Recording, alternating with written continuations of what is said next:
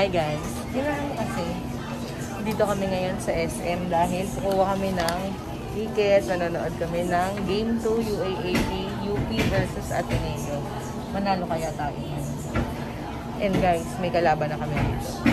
Mga di ba, may mga scholars na dito nakapila kami sa ISIM. SM Ticketnet dito kami sa Cubao.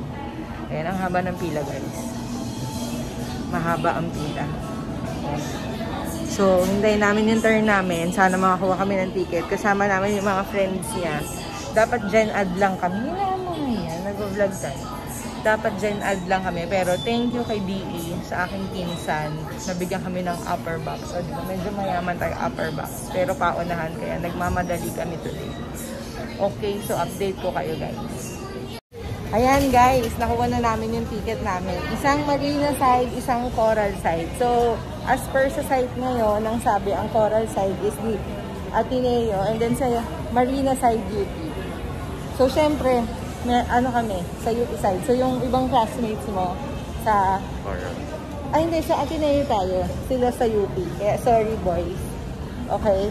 So, ngayon, nandito kami sa... Uy! Pababa kami. SM Cubao. Ngayon, tatakbo na kami ng SM MOA naman. SM ulit, pero MOA Arena. So, si sir nakapark lang somewhere. Kasi guys, nag-CR siya. Char. Okay. See you later! Ayan guys.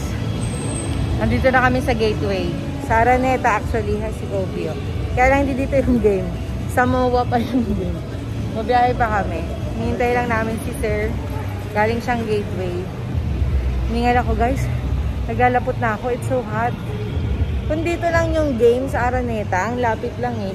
Kaso hindi eh, mawa sila ngayon ng game ko. So ayan, first first time namin manonood talaga ng basketball. Usually, usually pinapanood talaga namin. Volleyball lang sir. Pero ngayon, basketball. Kaya, ayun, wait lang namin si sir. Tapos, takbo na kami ng MOA kasi yung game 6 o'clock. Okay guys, see ya.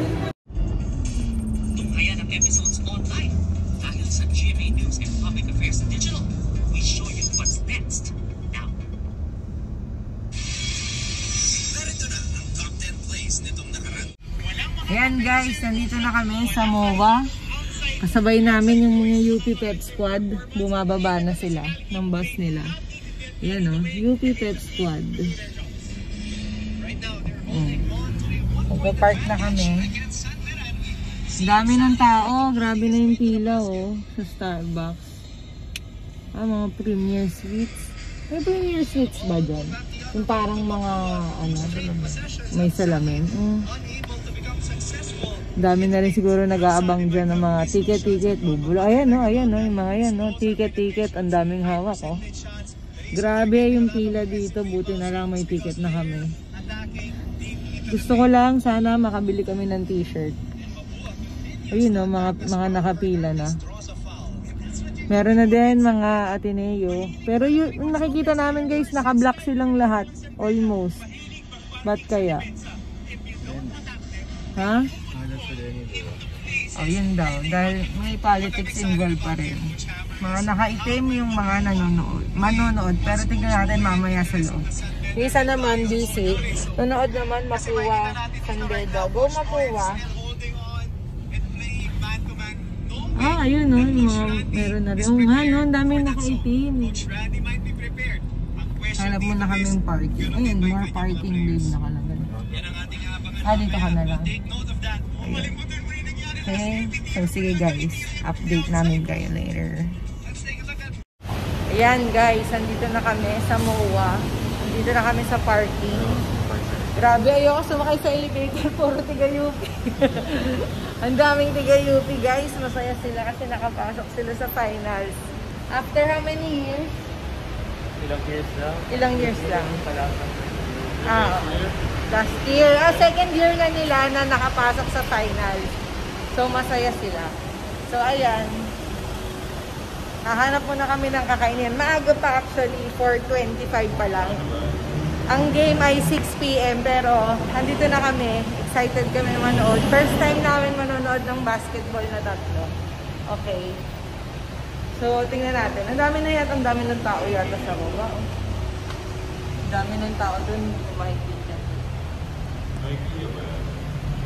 Oo, yun yun. Katabi ng MOA. Kia. IKEA. Okay guys, see you later. Guys, nandito na kami sa MOA Arena. Grabe yung dami ng tao. Inantay lang namin yung mga pasaway na late na friends ni Son. Anong name? Sila Nick, ang tagal. Kanina pa. Starbucks daw, ang tagal. Tignan nyo guys, oh.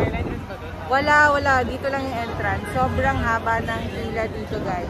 Daming tao, daming naka-maroon, daming naka-blue, pero parang ang daming naka-black. Pero kami, nilito kami, sila naka-white, mga friends ni Kuya. Okay, we're still waiting for them, and pipila na kami after. Okay? See you later! Hi guys, again, nandito na kami sa loob and pila pa rin. Tignan nyo, sobrang daming tao. Sobra, ayan na, kompleto na sila. Mga boys manonood. Pero sobrang daming tao dahil nga finals game 2. Mamaya update ko kayo pag nag-start na. Pero tinan nyo, hulas na hulas na kami. Sobrang init talaga. Pero chinecheck lang naman kung meron kayong vaccination cards. Then ayun na, papapasukin na kayo. Okay?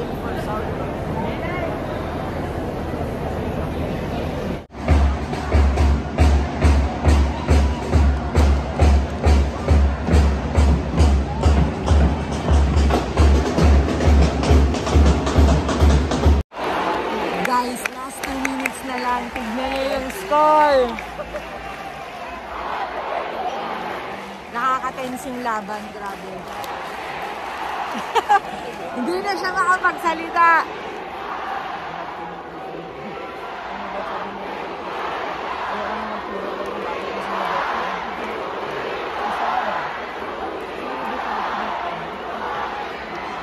So, tingnan natin sino mananalo. Hindi ako masyadong makablog kasi ang ingay dito.